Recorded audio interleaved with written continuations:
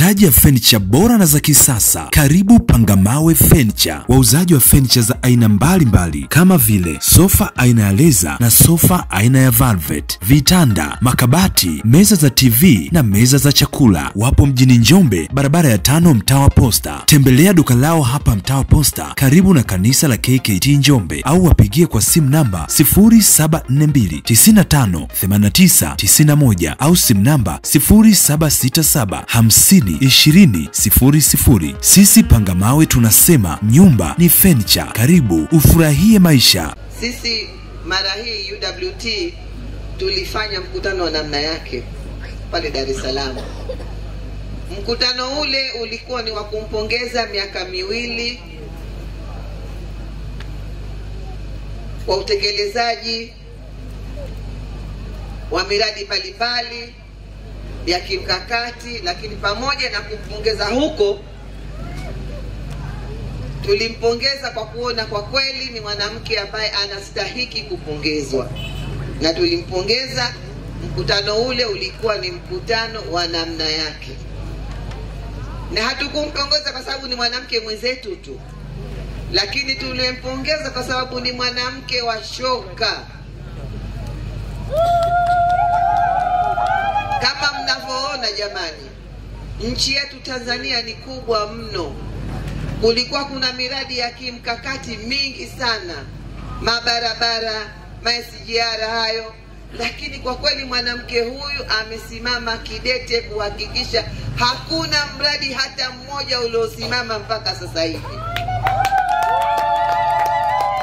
Hivi tunapozungumza, wakandarasi nchi nzima wako site, kila unapopita unakuta hapa pamebomolewa, watu wako kazini kama alivyosema kazi yeah. na kazi inaendelea. Kwa hiyo tukisema kwamba tunampongeza Dr. Samia, tunampongeza kwa yale mazuri ambayo ameyafanya na anaoendelea kuyafanya, lakini nyingine nimepata habari hapa kwamba Njombe haya masuala ya ukatili wa kijinsia bado yanaendelea, kitu ambacho kwa kweli sisi kama kina mama tunakipiga vita kwa nguvu zetu zote, na tumo katika jitihada mbalimbali kushirikiana na serikali kuhakikisha kwamba tatizo hili na shetani huyu alioingia sasa hivi. Tumtokomeze jamani.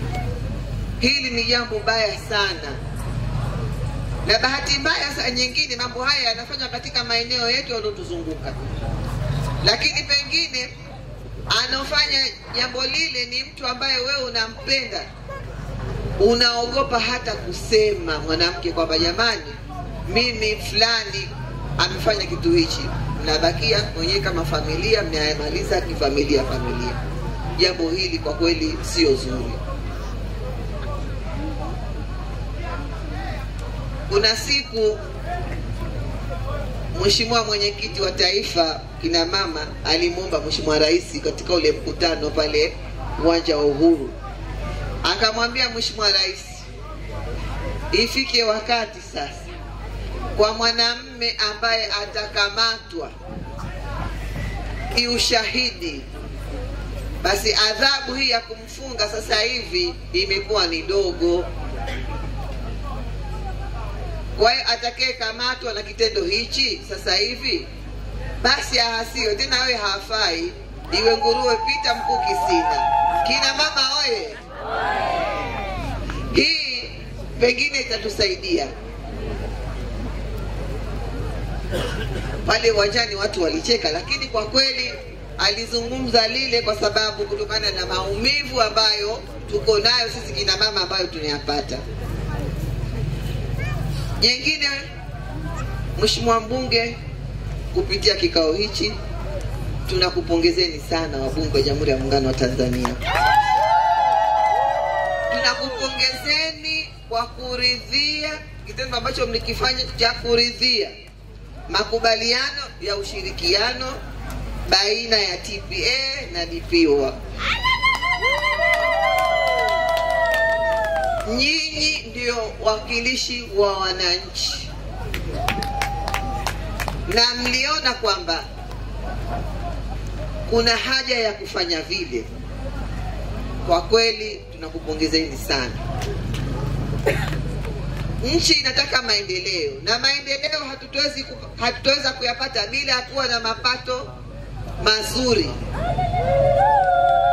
Mwanamke yule anahangaika kuitafutia nchi yake mambo mazuri, wanatokea wanaume wanabana pua. Oh, rais anataka kuuza nchi, kauza nchi.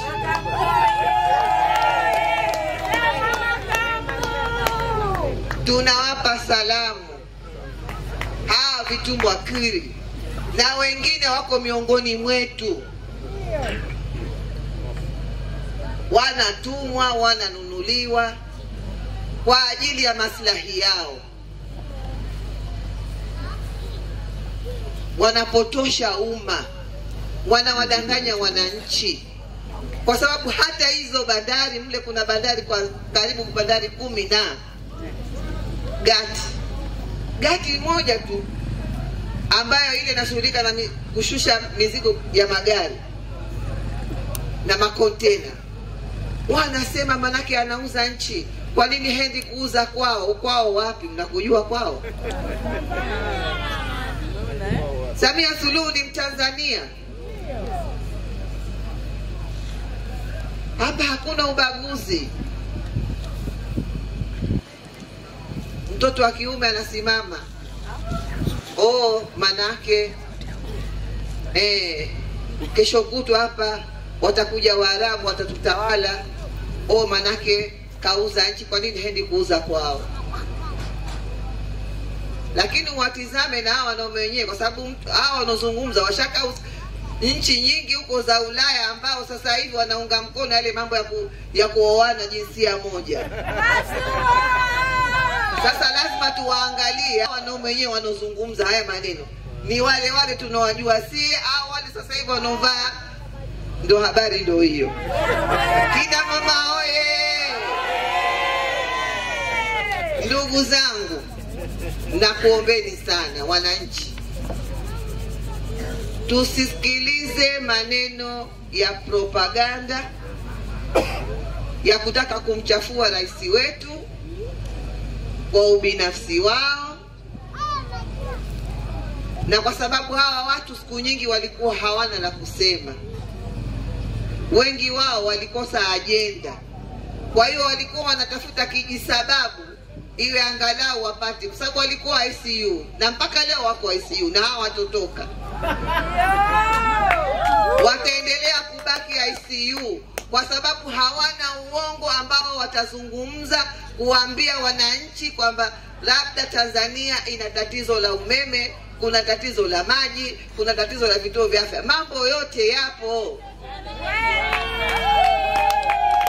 Kwa hiyo wanatafuta visababu vidogo vidogo ili na wao waweze kutoka kule ICU, sasa watembee mitaani.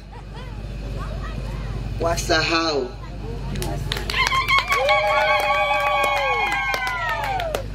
Nchi yetu ya Tanzania itaendelea kuongozwa na Chama cha Mapinduzi. Wakitaka ni hivyo, wasitake ni hivyo. CCM oye! Kuna msemo anasema wako kimbelembele kama mfuko wa shati. Katizama siku hiyo, kumbe mfuko wa shati uko hivi. Kwa hiyo watu wache. Wampe raha rais wetu afanye maendeleo katika nchi yetu,